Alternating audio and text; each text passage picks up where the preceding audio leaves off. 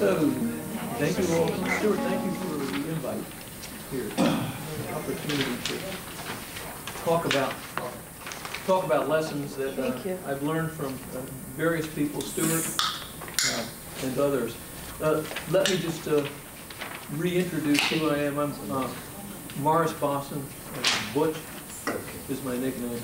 I am a 40-year uh, federal government uh, servant different agencies, and I- I've spent the past 16 years uh, on the, in the private sector side, consulting back with government agencies. So, here's my bit. Uh, When I got my doctorate under uh, Stuart and other colleagues at GW, I was exposed to general systems theory on Stuart's side, and I was exposed to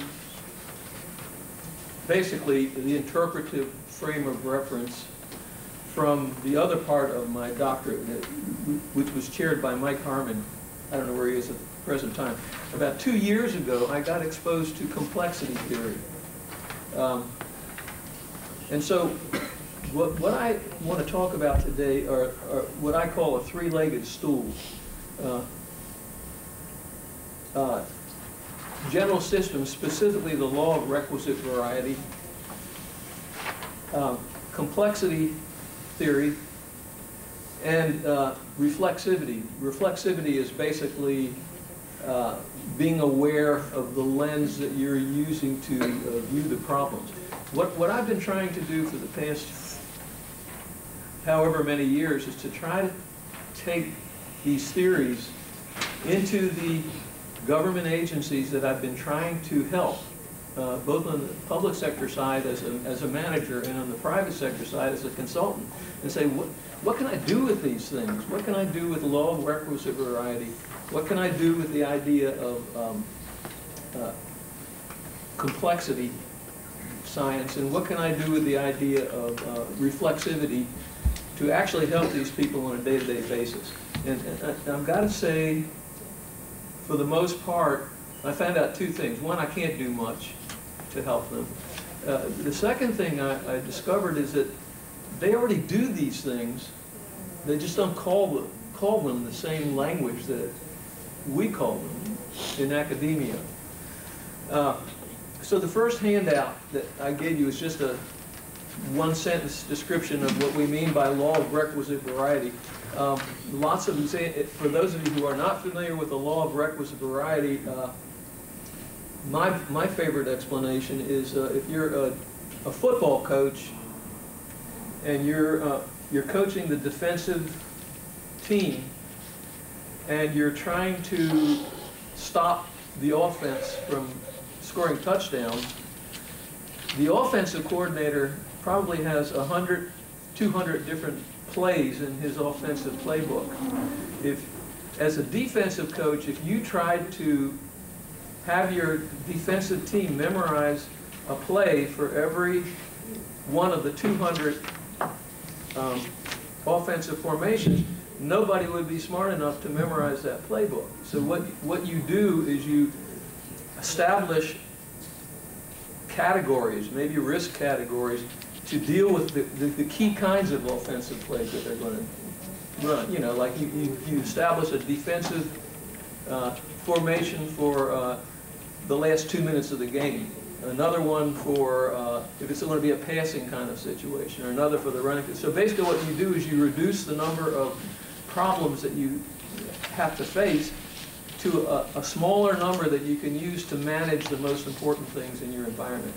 So you do that as a football coach, you do that as a law enforcement agency when you establish categories of crime. I worked for FDA for 25 years. They do it when they're reviewing new drugs. They establish categories, you know, high-risk categories, medium-risk categories, low-risk categories, and they develop a strategy to address each of those categories. So to me, basically, it means when you're establishing a law of requisite variety in a federal agency, you're trying to manage your most significant risks by matching a, strategy to each of those risks. You can't do it, if you do it for every kind of risk, you'll fall down you'd be overwhelmed by your own managerial capacity. If you try to, to establish too few categories, you won't respond to the, the needs that you really need to respond to. And to me, that's a, a general rule. In, in that spreadsheet that I've given you, I've tried to show examples of uh, three agencies that I've worked for for more than six years each, uh, and, and what, what they try to do, what their problems are, and what their remedies may be. So the second, uh, the second uh, leg of the stool would be uh, complexity. I'm, I'm fairly new to the uh, area of complexity theory. I've, I've tried to get smart on in the past two years, but, but to me, the key words, and uh, correct me if I'm wrong here, uh, it, that they are, complexity theory is based on the idea that uh, there's nobody at the top leading the charge to solve the problem. There are a bunch of individual actors or agents who are interacting, um, sharing information, um, uh, adapting, um, and solutions at, whether you want to call it the edge of chaos or uh, a phase transition, complex solutions to complex problems emerge and uh, not through any organized attempt to have them emerge. And so when you apply these to federal agencies, you're finding things like uh, in new drug discovery, uh, research on new molecular entities are occurring all over uh, the globe, and solutions to things, for example, the coronavirus are, are going to happen, but they're not going to be orchestrated by any one leadership. They emerge, uh, and they may be very random for a long period of time until there's a, there's a discontinuity that, that happens where, where a solution emerges. And you can see it in all of the examples that I mentioned here. You can also see it in uh, things like uh, uh, uh movements that are suddenly, suddenly take fire, like the Me Too movement. Um, so the whole, the whole point on complexity theory is that it's, it's a complex, not complicated, but a complex adaptive system that uh, arrives at solutions through extensive interaction and a few decision rules that uh, uh, actors that are adjacent to each other operate. A classic example is a flock of birds. How does a flock of birds stay together with no one leader? They stay together with two or three basic decision rules. Uh, keep up with your neighbor, um, fly as close to your neighbor as you can without bump, and don't crash into your neighbor. And with those three decision rules, the flock uh, manages to get together, avoid pred uh, predators, etc. So that's a, a, really primitive understanding of complexity. But when you apply it to federal agencies, uh, what, what, so now you have law of requisite, requisite variety and complexity theory sort of bumping up against each other because law of requisite variety says the manager needs to control the risks in his or her environment by establishing uh, a priority for what they're going to address first. That implies that the manager can do that. Complexity theory, and I'm open to discussion on this, says basically you can't manage your way to a complex solution, that it emerges. And, and the best that you might be able to do is um, facilitate the process, uh, uh, maybe have some initial decision rules that, that guide how actors inter interact with each other, but it's presumptuous to think that you can arrive at complex solutions to com complex problems with, with charismatic leadership or even organizational leadership because it just plain doesn't work when you have really complex problems. Now, I want to hear your, your reaction to that too as, as we go around. And the third uh, leg of the stool is reflexivity, which in plain and simple terms means uh, you, you've got to understand the lens that you're viewing the world with. You've got to understand the story that you become used to telling about the world, the narrative that makes you feel more comfortable in understanding the world around you and it's painful to abandon that narrative because when you abandon that narrative, your sense-making mechanism sort of goes awry.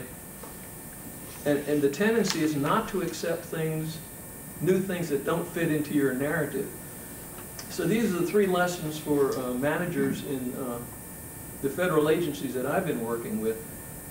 Try to establish risk priorities based on requisite variety, number one. Number two, understand that you're not the only person in the game, that you're one agent among many agents, and that you may not have as much influence over the, the solution to the problem as you may think you have. And number three, be self-aware of uh, how, how, how you're viewing the world and go through some kind of epoche or phenomenological reduction to really understand the, uh, the lenses that you're viewing the world through.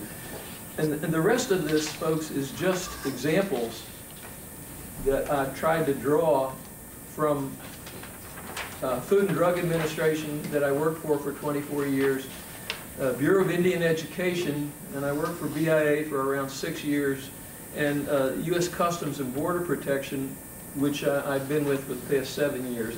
And I've been with other agencies, but I don't have to go through all of these examples, but the way this is organized is the three legs of the stool. Attempts to establish requisite variety at each of these three agencies, what the problems that are occurring if you don't establish the, the right uh, combination of strategies, and some possible remedies. In the middle three columns uh, have to do with complexity and how complexity is addressed at each of these three agencies. And the last three columns have to do with the third leg, which is reflexivity and how these agencies have tried to do that. In some cases, uh, they need to improve how they do that. Uh, I don't want to go into any more detail than that because I'd rather get participation from you. What do you think about the concept of the, I'm a practitioner trying to apply these three concepts on a day-to-day basis. And the only other thing I would say is that, what I said at the outset, that I think all managers understand these three ideas. Uh, they don't use the terminology that we use, so I'm not sure what I'm doing here is describing what actually goes on or, or prescribing something that should happen. All I know is I feel comfortable that these are three really important aspects of, of managing a federal agency. Uh, and uh, how they fit together, not so well sometimes, but uh, I wanted to get a reaction about the, that general framework. What, what, what do you feel about it? Am I hitting on, I'm hitting, am I hitting on three important parts of how federal programs or any programs run. Am I missing a leg? Uh, um, are there other legs that should be added or subtracted? So I just want to generate a discussion. You can look at the examples and agree or disagree with them. That's my pitch.